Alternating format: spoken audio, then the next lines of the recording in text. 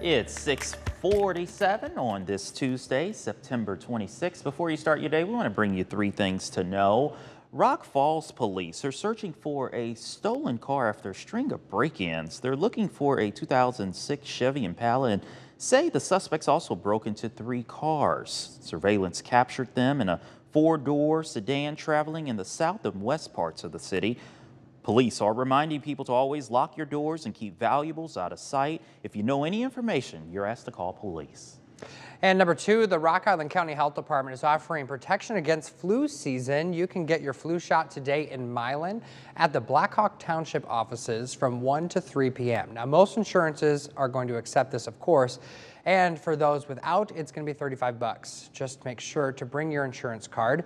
The CDC is recommending that everyone over the age of six months get a flu shot this year.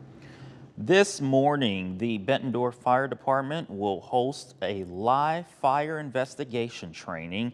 They will hold a classroom portion at their fire station at 8 a.m. Afterwards, a live burn will take place at 10 a.m. at the fire training site. Quad City fire investigators also will be on hand to share their skills.